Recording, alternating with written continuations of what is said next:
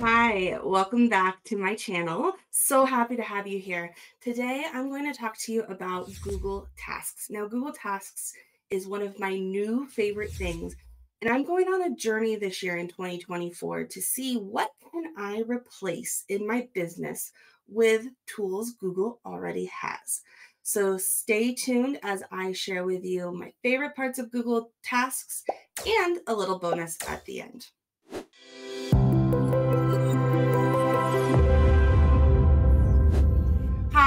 My name is Adrienne Farrow, and I am your Google BFF, a Google Tools specialist, and a digital project specialist. And I'm here to share with you all about Google Tasks. Now, I am known for having shiny object syndrome. You might be similar to me, where you want to try all the tools, and then when you get into using those tools, those tools hmm, don't work for you. So you pick another one. So this year, I'm really focusing on simplifying and streamlining. Those are two of my key business words for this year simplifying and streamlining. And if I am a Google Tools specialist, why not just really lean into the Google tools I already have? So let's go into Google Tasks and see what it's all about. So there are two ways to get into Google Tasks.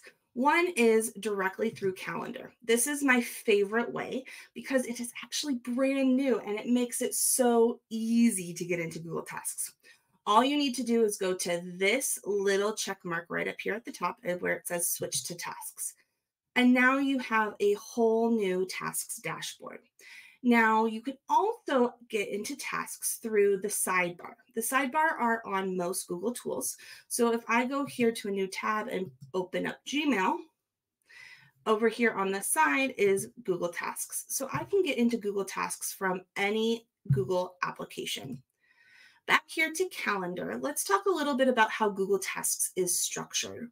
So it's similar to a lot of to-do lists like Todoist and some of the other to-do aspects like a Notion or other task management areas. It is a very simplified version. For me, it works well. For you, it might not. But one of the things I really like is its native integration with Google Calendar. We will get to that in a second. Okay, so here we can create new lists and new tasks. So here, if I put in, let's say I want to remember to answer emails. And so I can choose to see what day is going to be on. I'm going to say today, what time, maybe I want 1030. I can do an all day task if that is something that I need to help me remember to do something that particular day, but it's not at a specific time.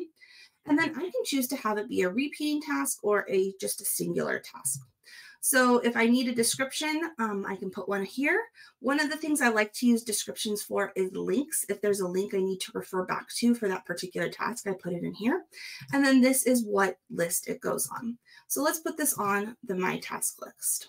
Here we go. Answer emails today at 1030. Now we can also star tasks. Starring tasks, put it in this starred menu so that you can really see those priority tasks right away. Another thing to note is you can do subtasks. So if you want to go here to the three dots, you can do add a subtask. So maybe uh, there are particular emails I need to respond to. So respond to OBM's email. And then maybe I need to go and do another subtask, and it is respond to bookkeeper's email. And then those ones, those subtasks can also have a specific date and time corresponding with them or details. The only time the subtasks don't really work is if you have a, we'll just do a test task here. If you have a recurring task, so if I put this for one day, we're going to say, so it repeats every day at 12, and then it never ends. Um, you can also choose a date that it ends or after a specific number of occurrences, which is really cool. You can choose that as well. But here, if I go to this recurring task that happens daily at 12, I don't have the option to do a subtask. So just to note, um, that is one feature I hope that they add because I was trying to do my morning routine and I do specific things every morning, but I wanted that like reminder of, you know, and I could check it off once I've done each of those tasks. So unfortunately, that's not a feature of Google Tasks yet. Hopefully we can get them to do that. So I'm going to do delete here. Okay. We can create lists. And so you can create as many different lists as you want. So some of the different lists you could do is by the specific projects you're working on. So you could have a website, um, website list. You could have a finance list. You could have a list that's specific to your course. You could have a list that is for your kids. You could have a list that is, let's do one more, a list that is for your social media content. Okay, so now we have our different lists and they're all here as well. We can reorganize those. So website could be first, and maybe I need social media content to come over here and go in front of website. So you can reorganize them however you want. And then in whatever order you put it here will be the order that it is here. And you can collapse that list area if you don't want to see all the lists. One of the things that I recommend is my tasks is great, but I like to have an inbox. And what I do is I put any new tasks that I make either on the computer or on the application on the phone. I will show that or talk about that in a little bit. So that is a great way of just having a quick way to put in new tasks and then I can move them to other areas. So say I am reminding myself um, Instagram reel for Saturday. And then I can take this drag it over here to that social media content area. And maybe I need a reminder to review finances. And that is a reoccurring task every week on Mondays. Okay. You can also determine where it goes when you put in a new task. So you can go to review finances, and then we go to do 11 a.m. every Friday. You can determine what list it goes to right here. So you can put that on the finance list so it goes over there. And for some reason in on the desktop version, oh, here it is. So one of the things you can also do is you can move it right here to whatever list. So you can click those three dots and you can go, okay, so these are going to be on my work tasks. So it's a really easy way of taking just doing a brain dump of the different tasks that you need. And then maybe at the end of the day, then you put them in the list that you want them to be.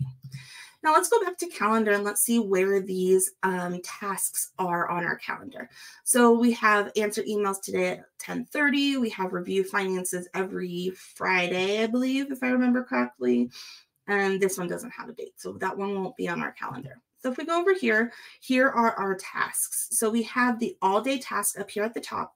So we can click on it we can see that this is the task, the date, what list it lies on, and we can mark it completed. We can also edit it directly within calendar if we need to. And then, so say I've completed it for today, I can complete it right there and then it will go away here. I will show you how to make it disappear completely in a second.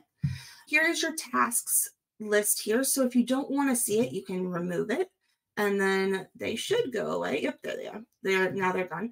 But if I want to bring them back, I can bring them back. So if it's distracting for the tasks to be up there, you can dismiss the view pretty easily. Now here on the three dots, if you don't like the default blue, you can change it to whatever color makes you feel the happiest. Um, remember that these are tasks you're going to see a lot, so you might want to make it a pretty color.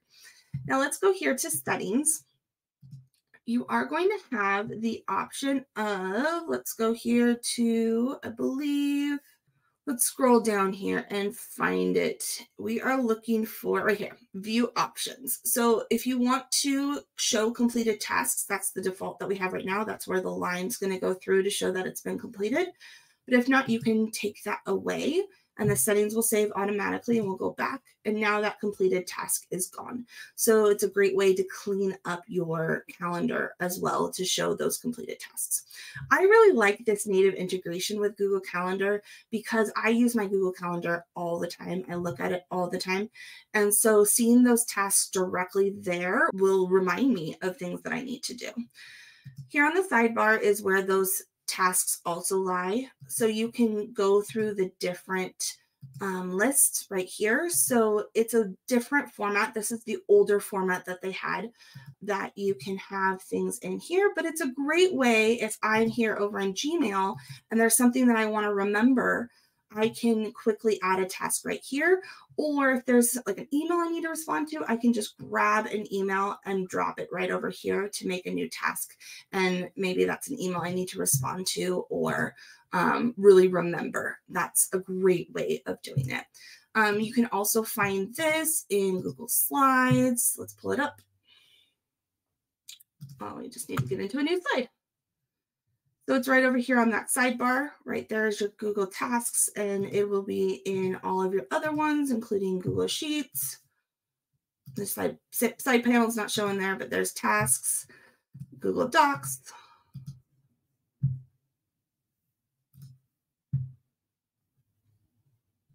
right there.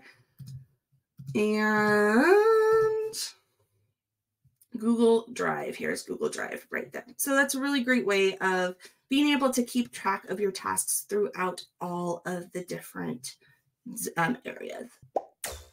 My bonus tip is to download the Google Tasks app. So in the Google Tasks app, you have the same functionalities as the actual desktop version. One of the things I absolutely love is there is a widget and the widget can live on your home screen and then you can get see your your tasks right away it will go by list. So I have my inbox as my main screen one. So I can just quickly add tasks as I'm thinking about it. And then you can also have those notifications go off. So you get the notifications on your phone as well as your Google Calendar desktop. So everything just really works together.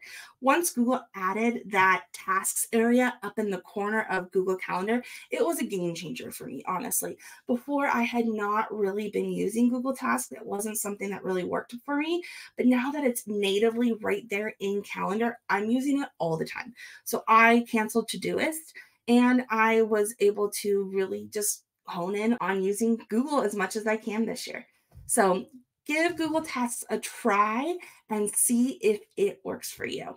Now, if you want to stay in touch and find out more Google tips and tricks, don't forget to subscribe to this video and like it, comment down below if there was something that it was an aha moment or something new that you learned.